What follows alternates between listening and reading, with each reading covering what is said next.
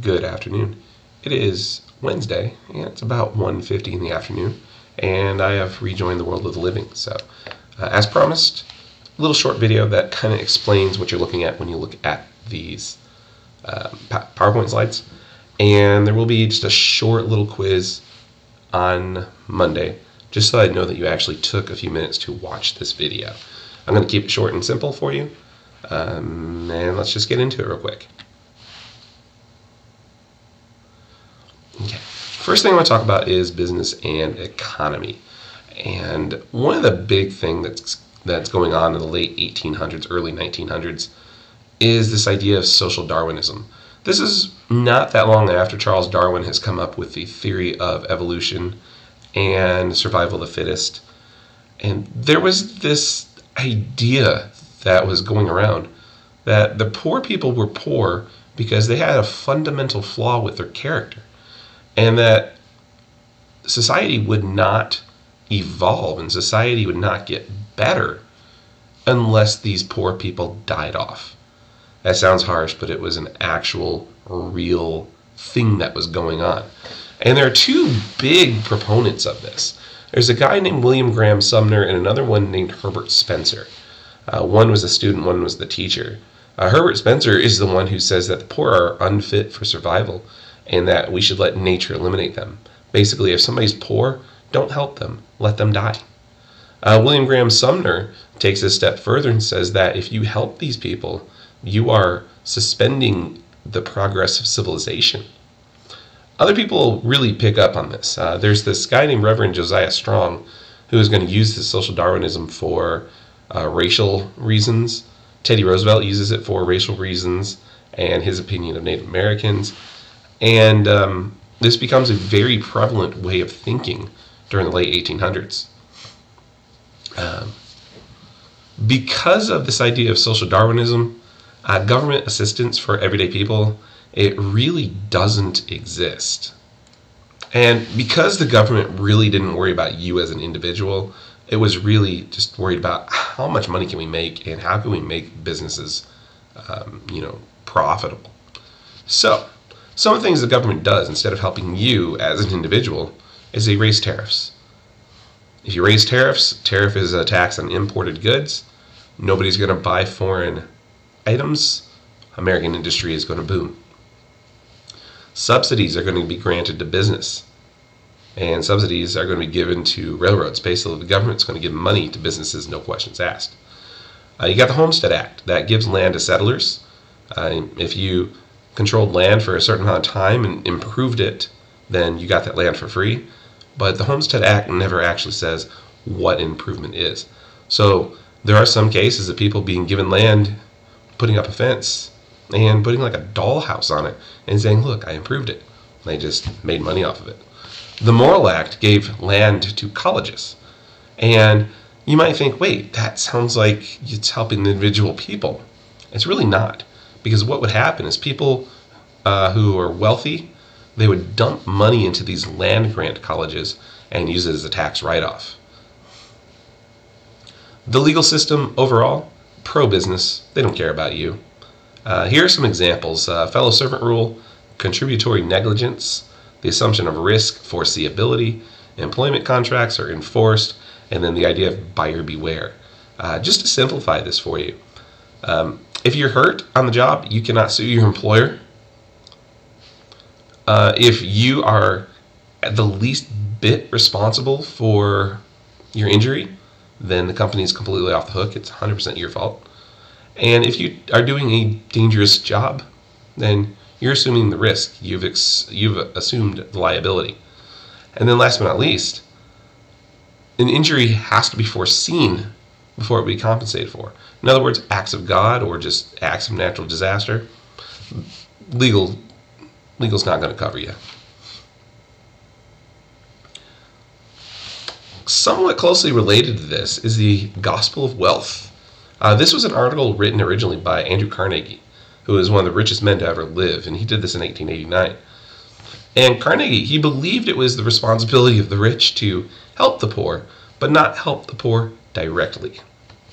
So, what Andrew Carnegie would do, Andrew Carnegie would give money to libraries and he would build uh, opera houses and things like that. And he would build museums and concert halls. And then he would encourage other wealthy people to do the same thing. So you're not giving money to the poor because the poor, um, they don't need to be helped directly. But you are giving money to things that could cultivate better habits, as it says here. Uh, here are some examples. Um, some other examples, I should say. Russell Conwell, who's the founder of Temple University, he said it's the duty of a good Christian to get rich. And that people are poor because God is punishing them. And so, what Russell Conwell wanted people to do was give money to the church because then the church would help people. Yet, really, he just pocketed a lot of money. Uh, DeWitt Talmage, he actually refused to preach to the poor. And yes, this is an actual quote.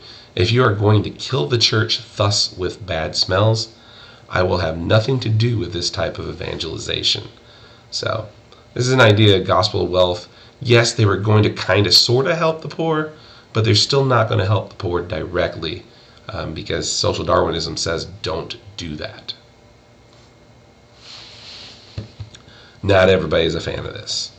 Uh, here are some names of people who are against gospel of wealth and believed in helping people directly.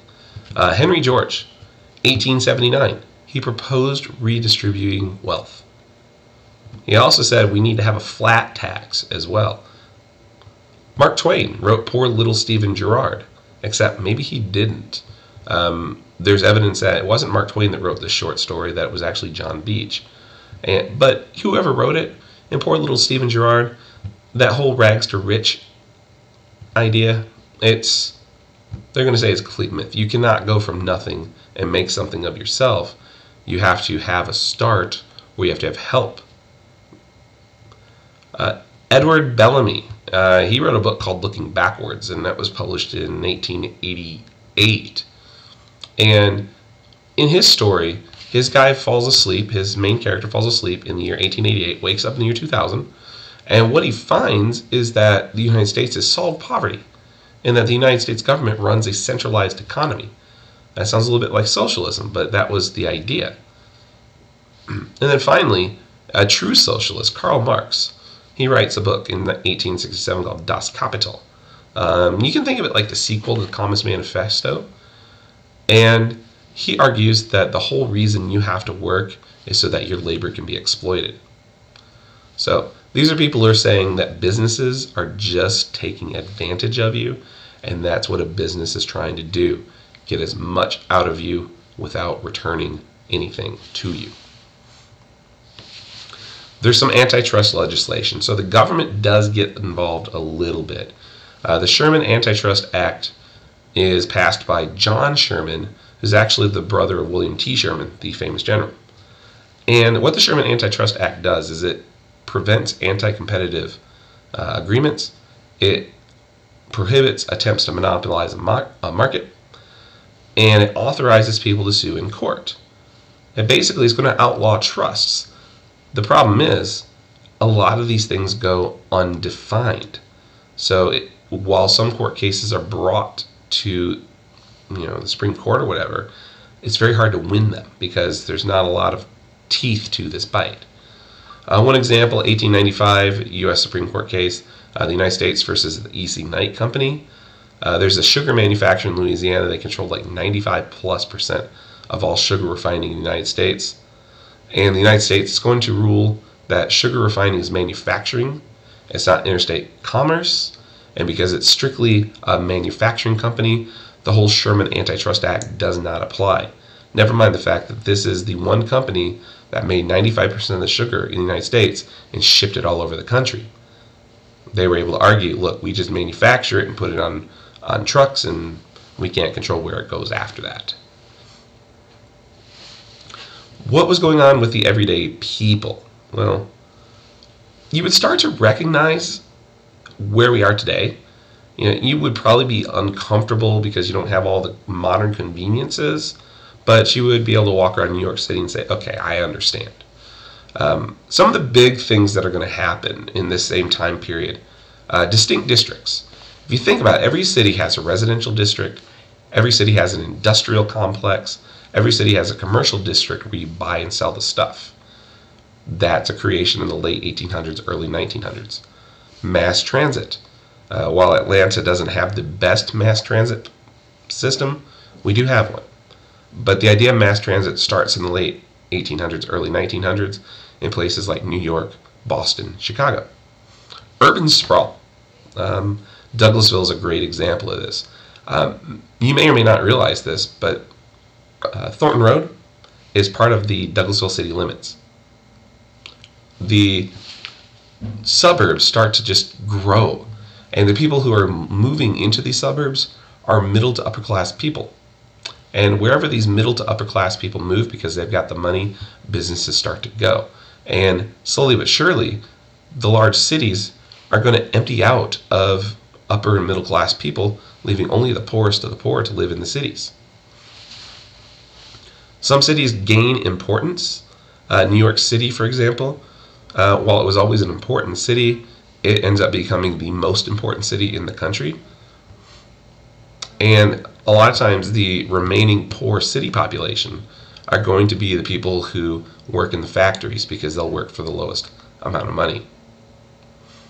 All right, migration. Cities are going to grow through this idea of migration. There's internal migration, and then there's immigration from other countries. Um, so, with this rural to urban migration, people stop farming, people stop living in small cities, and they move into the larger cities. You also have uh, black migration from the south going to the north and the west. Um, even though migration, like internal migration, it's a big deal, it pales in comparison to immigration. I got some numbers here for you. Um, and I wish we were in class because I'd write a whole bunch of stuff on the board just to show you this. But in, from 1865 to 1900, um, the United States sees a total of about 13.5 million immigrants. From 1901 to 1910, just that 10 year period, there are 10 million immigrants there alone. And where they come from changes. Uh, where in the early 1860s, it was primarily people from Ireland and Britain. By 1910, you have people from Eastern and Southern Europe coming. So it's a different collection of people who are coming too. A lot of the first generation immigrants, they try to bring their old way of life with them, and their children really try to assimilate into American culture. And so there's a lot of clash, not just between the people who lived here and the new people, but also just generations. If you come here with your parents, you're going to view life differently than what your parents do. What was it like to live in the cities? Well, you see it here. Uh, there's a lot of crime, a lot of violence, a lot of poverty. Um, people are still going to move into the cities and they're still going to immigrate because they are promised this idea of mobility. Uh, if you work hard, you can get promoted. If you work hard, you can buy a house. And if you work hard, you'll be accepted into the fabric of America. Um, but ultimately, there's housing problems. This is a time period before the idea of the skyscraper. So just imagine New York City with buildings that are three to four stories tall because that's all you could really build. There's there's not enough houses for everybody. So you have entire families living in like one room flats and things like that. All right, what about everyday life though? Uh, believe it or not, even though there's a lot of poverty, um, you're making more money than you have ever, ever had before. Problem is, the cost of living is going up even faster. And so you start to take on second jobs so you can afford to live. Or you rent out a room. Maybe you've got a three bedroom apartment. You start cramming your family into two bedrooms and rent that third one to a stranger. Uh, convenience. We get canned food for the first time. We get refrigeration for the first time. We can go to the store and buy our clothes for the first time. Um, grocery stores like we think of today develop. I believe it's Piggly Wiggly was the first true grocery store where you could go and get your own groceries. Before that, you brought a list of groceries to the desk and they went and got them for you. And then um, the last thing on here is this family life becomes nuclear. If you're not familiar with that means, a nuclear family is the immediate family, the parents and the children. Uh, there was a point in time where you had extended family living, like aunts, uncles, grandparents, uh, grandchildren all living together. But by the time we get to the 1900s, it's so expensive to live that you ba- you put grandma out on the street basically, and you replace her with somebody who's willing to pay for that room. Popular entertainment. This isn't much different than today. Um, because you have more time for leisure, you end up finding things to do. So, uh, baseball, football, basketball, sports, circuses were a big deal. Uh, theater, and notice it's an RE instead of an ER, so we're still talking like stage theater.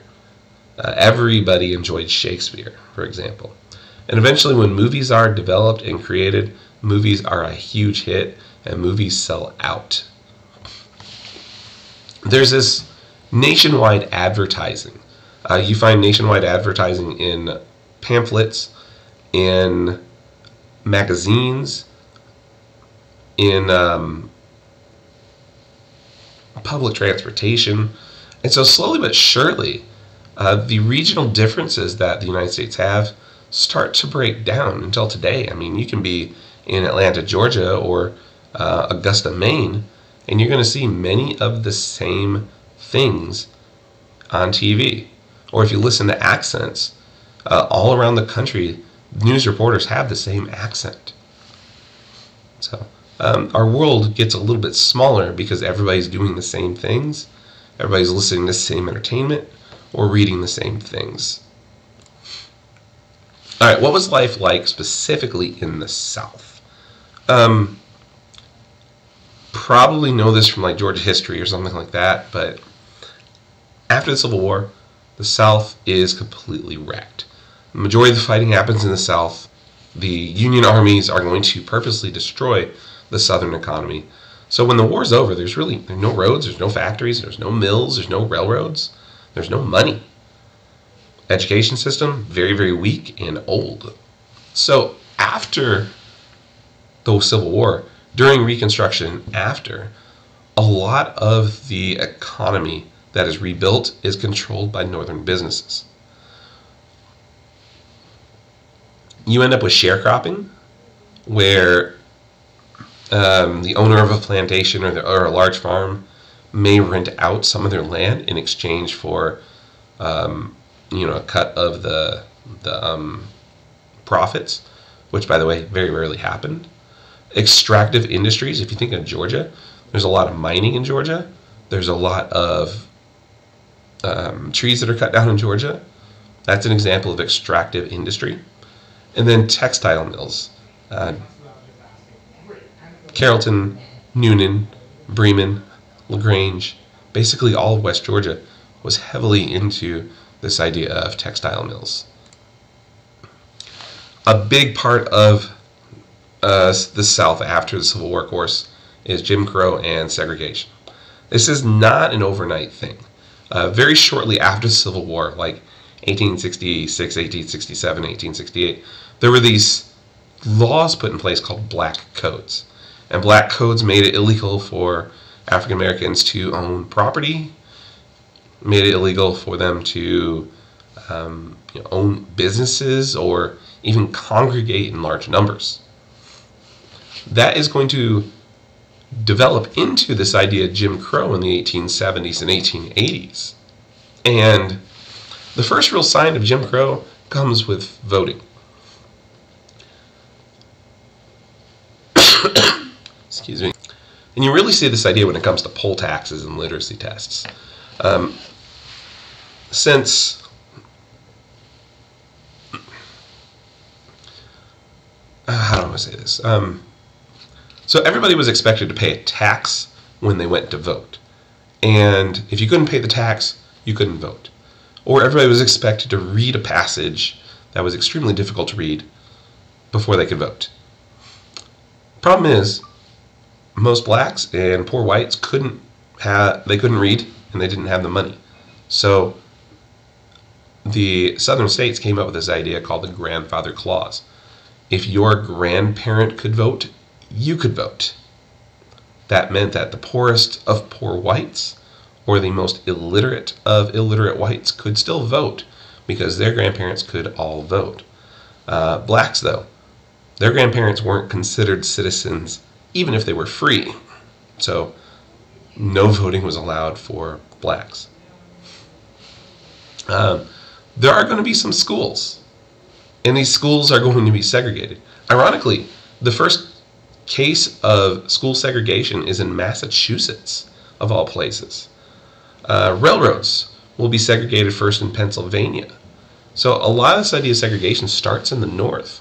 But when the South realizes they can get away with it, they put hard laws in place that dictate the separations of African Americans and whites. Now, there are some differing views on race relations. I know this is getting long, we're almost done, and thank you for watching up to this point. We're about 21 minutes. Um, this is specifically to the South, and this is specifically like views that were in the white community at the time. Uh, what we call today the liberal view was strongest in the 1880s. And this liberal view is still living on this idea of, you know, the, the slaves have recently been freed. We don't know what African Americans can do. And those who believe in this liberal view, they want to assimilate black people into mainstream white American culture.